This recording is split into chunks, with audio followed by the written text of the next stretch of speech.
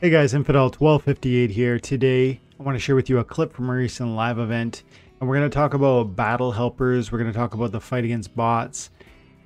I have never touched a battle helper, but today I did.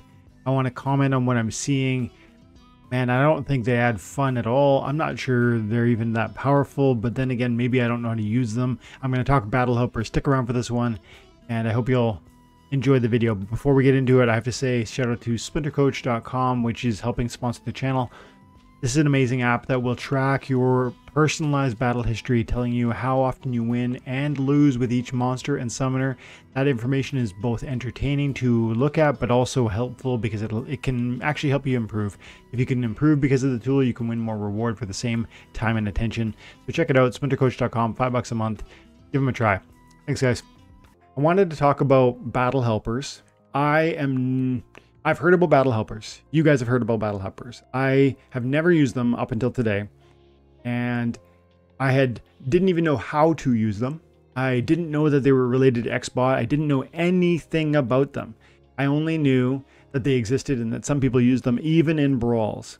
And I've struggled in my brawls, man. Like it's been it's tough. And brawls for me are one of the most competitive, the most challenging, the most important parts of the game because they have this opportunity for not just for me to personally benefit, but for my team to benefit. And so as a product of that, I really want to do well in them. I want to be attentive to it. I want to rent cards to equip myself to succeed and so that we can achieve at a high level. And and uh and so I just started poking around today. I was like, you know, I know these things exist. Let's look into it. And I found some old from April and March of this year. I saw videos from uh, and from um, Aftersound covering the existence, the use, who's using it, even that kind of stuff. And I found, you know, the connection through Discord uh, uh, for Xbot. And I just went ahead and I give it a shot. I thought, you know, let's just give it a try. I want to see what it's all about. Is it really that helpful or is it that powerful? I in I used it for my brawl submissions today for the first time ever, and uh, and I usually fight in my guild brawls at tier four using the alpha beta fray at the diamond league level. That's this is one of my battles right here. Alpha beta diamond league. Any cards are good um, as long as they're alpha beta, and um, and I play against some some real beasts. Forever crypto here is you know is uh, queued up against me here, and and we're about to you know go out of here. And uh, I don't know. I mean, this is one of the battles that I relied on the, upon the data for. I guess what I want to say is that it seems to me that the tool isn't as powerful as I might have expected. And and let's watch this battle and see what happens. I'm I'm on the bottom with the Lyanna. It's silent summoners, healed out, and uh, lost legendaries. I would think my speed is gonna keep me evasive from his from his animated corpse. We'll see. Cockatrice slapping. Animated corpse goes down. No poison on my uh, spirit shaman. I feel like this should be a win right right this second, but that poison's annoying. Oh, if he didn't poison me, honestly, if he didn't poison me right there, I think we he's done. He is done because we, we either stun lock or we at least kill the celestial assassin from my magic my magic attack.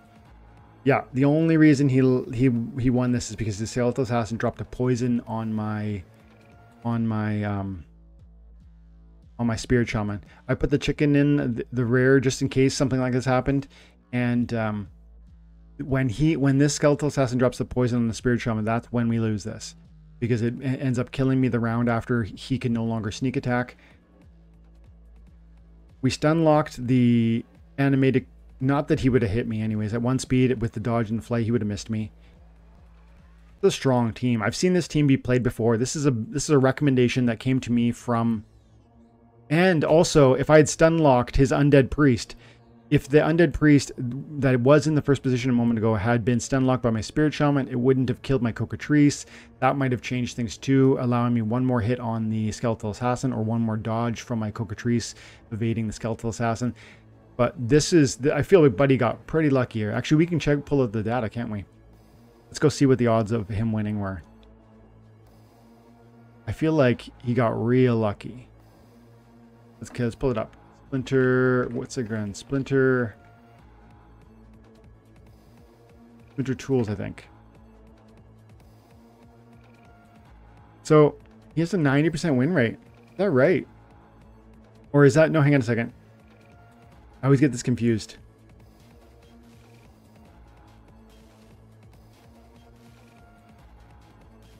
I always get this confused. Is this a 90% rate that he would win? Or is this a 90%? Yeah, it must be. Or is it a 90% chance that I would have won and yet I lost? I think it's. I don't know. I don't know. Because hang on, the Joker won this one against me. It's a, it shows 100%. So it must have been. It must be that the percentage refers to whoever the the probability of whoever won winning. I think. So Forever Crypto had a 90% chance to win that. I'm really astonished by that because frankly, the poison had a 50% proc chance. The Hmm. Yeah, I'm really surprised.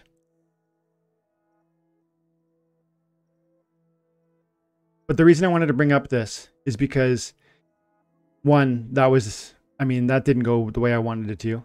But I did use Battle Helper across these brawls to test it out. And the one thing that I found that was the most, and also I'd used it on this one here. This is just a rank battle.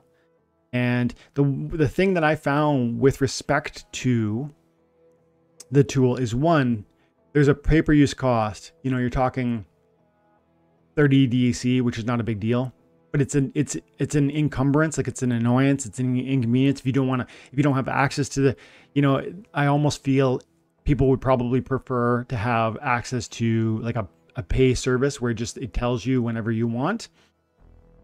And another criticism, two other criticisms. One, it doesn't seem to be that powerful. I saw results being given to me that I thought were totally inappropriate, totally and maybe I'm a fool and I just misread these things and but I don't think so. I actually believe that the value associated or the tools that were being recommended were just not accurate. Um, and I could give, I mean, that last loss is and maybe an example. This is a this is a game that doesn't go the way I want, and it's another example. Um, but maybe, but pro, but the way the tool works is it'll give you five examples. You know, hey, you can try this play or this play or this play or this play, and it kind of ranks them in the best order that it sees them, and you then have to you know apply your eyes and decide which way you think is sort of the most logical. And my my one of the criticisms I, I have toward it is that it appears to me as though as though the first of all it takes a long time to think through its options if it leaves you with one minute and it gives you five options to choose from with one minute remaining in your battle selection process that's actually a tight tense time especially if you don't know all of the monsters names so you actually have to be well equipped to understand the data and then implement the data because it's a manual implementation. It's not an automatic. It's not going to drop the cards that it says. You don't pick option one and then it goes and does it for you. No, you have to understand. Okay, it's an Almo Cambio. I know that's a seven mana card. I'm gonna I'm gonna click seven on my filter so I bring it up quicker. Chaos Agent. Okay, I know. Uh, Spirit Hoarder. It just says the names of these cards. You need to know the manas. You need to know what they look like, maybe in the because the screen is going to be full of cards and you've only got 30, 40 seconds, you're trying to read one window that says five different recommendations, decide which one makes the most sense, and then implement it and find those cards within the context. And it is a, um, it's not exactly easy. And then it doesn't appear to be, in my opinion, deeply powerful. I don't know. I mean, I think Xbot's powerful. It wins often at a high level, and it usually wins better than me. So maybe on average, it's better than those selections, even though I might disagree with them, might prove better than I could on average do. Maybe that's the truth. I, I can't, I just can't attest to it. I want to know if you guys are using it, if you have used it. Um, it looks like a lot of people are. I saw from March and April, After Sound did a video and he showed data from a blog post on Hive where it was talking about who had, who, which guilds were using it. And that information was you know, it's essentially public because you can see who's sending tokens around, etc. Um, and so, I mean, lots of people are using it. Guild and a lot of like from each guild, from all the highest guilds from tier four, like a lot, most people are. There was only three guilds at that time, several months ago, that were were not using it. This is my first time trying it. I'm feeling I don't know. I, I, we'll see. We'll see what the guild brawl results, you know, turn out be, to be for me. But I really felt they were unreliable. I mean, I, ca- I can't pull up my Discord exactly, but I'll tell you one of the suggestions provided.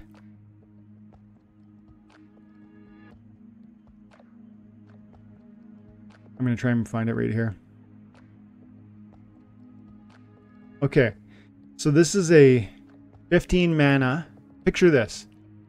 Um, a 15 mana match, wild format. The rules include armored up, equalizer, and reverse speed. Okay, so now reverse speed. And then water, life, and death are not available. All cards alpha, beta are. Um, the first suggestion pro provided by by Xbot or by the battle helper was Lyanna Natura for the green team. Furious Chicken in the first spot. My Furious Chicken doesn't have any melee attack, so that's that's maybe the first, I guess, trick or difficulty because if it had any melee, you know, with the with the equalizer, I could see it, but it doesn't. The Creeping Ooze was number two. My Creeping Ooze has a one melee damage. It's going to slow my opponent, which is going to give them an advantage in the context of reverse speed. The third monster was Brownie, which is going to give me an Inspire, which is great, but it's also going to give an, a speed um, a swiftness, which is going to slow me in this context because of that reverse speed. In spot one, in in the four spot Swamp Thing. Swamp Thing is that archer unit with the green team, which has one weaken, two archery damage, and one slow. Again, helping my opponent. Then Wood Nymph, which would yes be helpful because it has a tank heal. Um, and then lastly, Earth Elemental, which is an interesting rear sneak defense with archery damage output, and actually would have been able to do some stuff, right? Because it has the archery damage output and the slowish speed. So I would have been really relying on Swamp Thing, Wood Nymph, Earth Elemental to put out damage. And they would have dropped it effectively because my two archers are slow, but I've slowed my enemy and sped myself up, which makes those less likely to land. I just, I looked at that I thought, how is that going to be, how is that going to be effective? And the next uh, suggestion, without beating a dead horse here, Cockatrice is my starting point, is my main tank, is, is their suggestion six speed, dodge, flight, then a brownie, a creeping ooze, and a swamp thing. I'm going to be hit every single time if I put that tank in the first spot. And so I just don't, you know, again, maybe it's my lack of expertise because the data, you know, Xbot has proved to be successful. But, you know, as I look at some of the results, I just felt one, it was difficult to interpret. Two, it takes a lot of time to think and then you have very little time to implement. And three, I just didn't necessarily even agree with the submissions provided.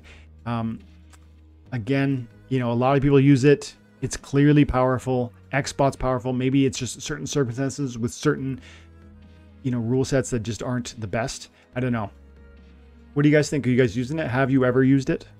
Love to see more thoughts on that because frankly, it's my first go. I'm not aiming to use it regularly, but if it was really, uh, you know, given the data that I saw around Given the data I saw around how many people are using it within guild brawls in particular, it definitely makes me you know, I would love it if we get to a place where this is human to human, period. I would. And you know, I'm for modern doing that. I actually want it makes me want to move into modern. But I also know that there's unreliable sort of success with that process.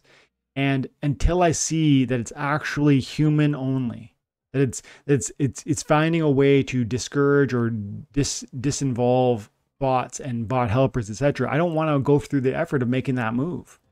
And um, if we can get the game to a place where that's possible, where it's disencouraged, disencouraged, it's disincentivized, it's somehow stopped altogether, I'm so for that.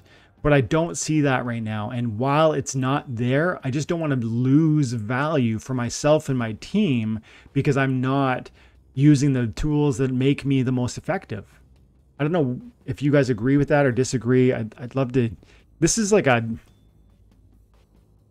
This is a difficult thing for me. Like, I, you know, I believe in this game in part because it's a really actually entertaining game to play. And that becomes less true when we automate everything. So, this is a problem for me. But I also want to garner X amount of reward for my effort and my investment. And I also want to benefit my team and I don't want to leave them hanging out to dry because I'm, because I'm the last one that's not using a tool that will help me. See my point?